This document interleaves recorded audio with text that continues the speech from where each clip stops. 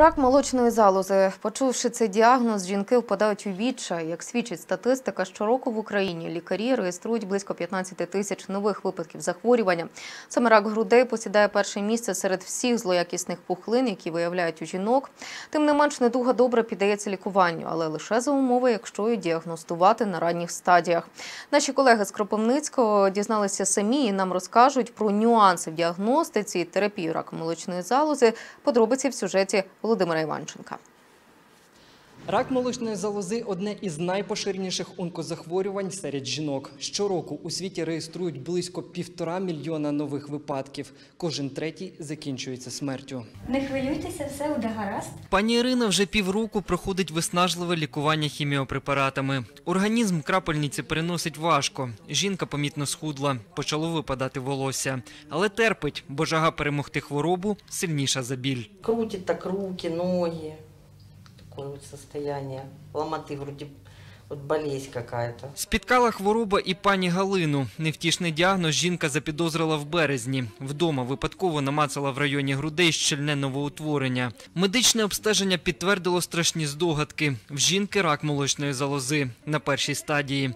Далі негайна операція і тривалий курс реабілітації. На даний, на даний момент я проходжу хіміотерапію, подальше лікування. У мамологічному відділенні онкоцентру 30 ліжкомісць. Майже всі зайняті. Хвороба прогресує, констатують медики. Щороку на лікування приймають до 400 жінок з раком молочних залоз. Недуга не має віку. Хворіють як молоді дівчата, так і літні жінки. А факторів, які провокують ріст ракових пухлин, ціла низка. Чаще всего это способствует курение, эм, употребление алкоголя, первый аборт в раннем возрасте, некормление детей, отсутствие грудного вскармливания.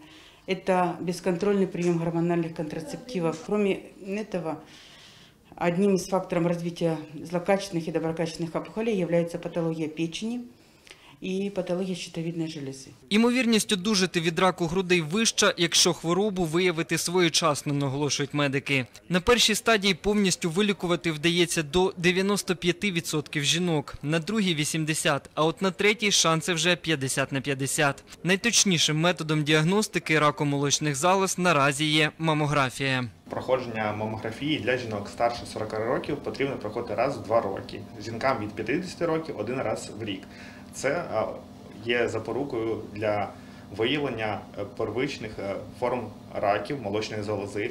Ракові пухлини молочних залоз в онкоцентрі сьогодні лікують комплексно за допомогою променевої терапії, хірургічним втручанням та медикаментозно. Перші дві методи для пацієнтів абсолютно безкоштовні. Витрати на хіміопрепарати частково компенсовує Національна служба здоров'я України. Е, Запаси, які ми мали минулорічні, у нас вже вичерпалися. Ну, ми чекаємо зараз поступлення нових препаратів. В принципі, по ідеї, все буде відновлено, поставлено на свої рейки. Е, Сюди входять і хіміопрепарати, сюди входить і гормональна терапія, тобто препарати таблетовані форми, які пацієнти отримують вже не на місці, не в нашому закладі, а коли виписуються і отримують їх вдома тривалий період часу. Наразі онкоцентр продовжують укомплектовувати приладами для лікування і діагностики раку грудей.